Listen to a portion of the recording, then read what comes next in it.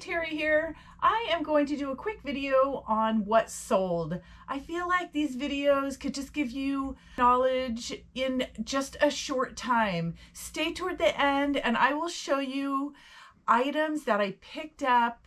They're all identical and it has to be one of the top profitable items that I have found since I have been reselling. So stay on for that because it's pretty exciting and it's something that you could find when you're outsourcing. Let's get started with this first item. The first item is very heavy. It's a vintage Pioneer stereo receiver. I used to sell these quite often. I haven't been finding them as much lately, but I did pick this one up a few weeks ago at a garage sale. So I paid $10 for that and I sold it for $245 plus shipping. All of my customers pay shipping. I will very rarely do free shipping unless somebody reaches out and asks if they could have a deal. Then I may do it every once in a while, but I never list my items as free shipping. I actually picked this up at Goodwill for $6.99. I think I've had it probably for about a year and it sold for $60. It is from 1981. It's in great condition. I rarely go to Goodwill anymore because the prices are just so marked up and they have people that work for them that are sourcing and pulling stuff and selling it online. So it's a rarity if I go into Goodwill anymore. But I did find this. I picked up these brand new Crocs probably close to a year ago. I had them listed kind of high because I know some of these types, the um, ones with like the leather on top could go for quite a bit. So I listed them high and I just kept dropping it. And then finally ran a sale on them and they sold for $64.57, which is awesome because I only paid $4 for them. Last summer, I went to a garage sale and this person was selling all of her son's Imaginext. Apparently he was done with it and she had a whole bunch of it. So I lotted things up in, I think I had six or seven different lots I've sold maybe three or four of them and have a few left. They had a lot of people that went with it, but these were extra people. There was a whole bunch of others, and honestly, if I had pieced these out, I probably could have made more money, but I had $7 into each lot, and this one sold for 45 I was at an estate sale last weekend and picked up three of these. They are hand blown glass lights and they are old world Christmas. They are from the 80s and I had this listed for maybe a day and somebody bought it for $149. The other two, I think I have one listed for 199 and then the other is listed for 249. So this was an awesome find. I've heard of Old World Christmas but I didn't know they made lights like this. I know that they make ornaments and that's all I've ever seen. So keep your eyes out for these. They are very valuable. My next item is this kit that I purchased at the Hobby Shop buyout. If you saw my other video, I have about $4.50 into this and it sold for $28. I love selling Barbies. 90s Barbies are just fine to sell. I picked this up a couple weekends ago for $10 and it only sold for 30 That's okay. I bought a whole bunch of them for $10 and some are selling for quite a bit more than that. They are just so easy to list when you have a scan bar and you know exactly what it is and it's in the box new. So don't be afraid to pick them up even though you're going to only make $30 out of 10. Okay, so my next item I'm about to show you, I picked up at a garage sale probably a month and a half ago. I don't think it's been quite two months. Went to this garage sale and they had new items.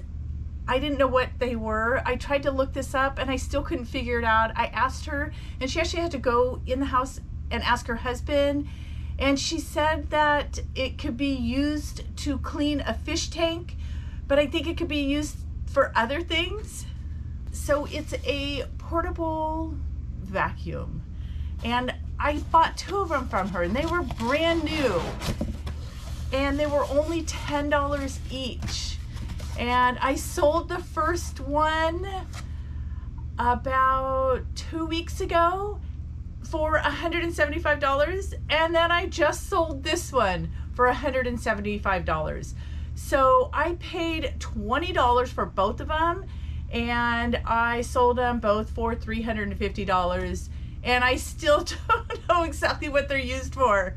So do you have anything that you sold that you just don't really even know what it was used for? I have done that so many times. I would like to know, please say in the comments. This is a facial wrinkle removal strips. I don't know. I picked three of these up. They're brand new. I paid a dollar for each one and this one sold for $20. So I was at a sale, oh, about three or four weeks ago and they had nine of these and she was only selling them for a dollar each. So Nobody else was grabbing them. I went ahead and grabbed them. They're so easy because you only have to list one. They're new in package and then they just sell. And I could tell school's ready to start because I just sold four of them to four separate people. This is the fourth one that I sold. Paid a dollar for each one and I'm selling each one for $20. So I have $9 into it. And by the time I'm done selling them all, I would have made $160. I just picked this up last weekend. I got it listed pretty quickly. It is actually brand new, but somebody had opened it, and of course I disclosed that. Um, honestly, I'm kind of glad because the batteries that were on the side here were all um, leaking, so I was able to take those out. It did not affect the remote at all. So I paid $4 for this and I just sold it for $100. I already have this one all packaged up so you can't see it, but I just wanted to show you the size of the box for that many books. This is the second time that I have found this exact same set of books. They are called How, let's see.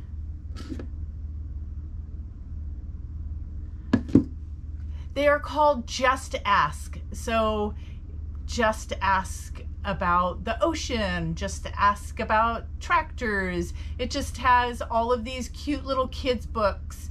I picked this set up for $10 just a couple weekends ago and it already sold for $70. So the rest of the items that I'm gonna show you, I've already shipped out. So I'm just gonna do a screenshot so you can see what they are. So the first one is this plush. I'm a horrible plush finder. I've always tried to find plush. I see other people selling them for big money and it seems like I could never find the right one. When I'm comping it at the sale, I think it's the right one and then I bring it home and it's a little bit different and it doesn't sell. So this time I finally nailed it. I picked this one up. It's a Eden Bear. I think it's from the 80s or 90s. I paid a dollar for it and I sold it for $117. So I'm super excited and I'm gonna try to find more plush. This Minolta moving camera, I believe is from the late 70s, maybe 80s. It has been sitting in my pile of things to list for well over two years. And I picked it up for $10, got it listed, it sold in a few weeks. It sold for $239. So that was pretty exciting. Have you ever seen these micropack jackets? They are usually rain jackets and they have the accordion hood. And if you're ever at a thrift store or a sale, you can usually, if you skim down the jackets, you can usually see that identifying mark. It's accordion and I have had this one also in my pile for well over two years. I finally listed it. I only paid $10 for it and it only took a few weeks to sell after having it listed and it sold for $78. So last weekend, the same sale that I got the remote from, the Logitech remote, I got this Microsoft keyboard, brand new in package, factory sealed. I only paid $15 for it, and it sold overnight for $200. This Netgear cable modem, don't pass those up. This one was new in box. I only paid $15 for it and it sold for $70. So keep your eye out for that. A lot of times I'll go to a sale and nobody's getting it and I pick it up and I sell it pretty quick. So when I'm at sales, I know about Hot Wheel Redline vintage cars and I'm always looking for those. And I have found a few, but they just weren't worth much, maybe 10 or $15.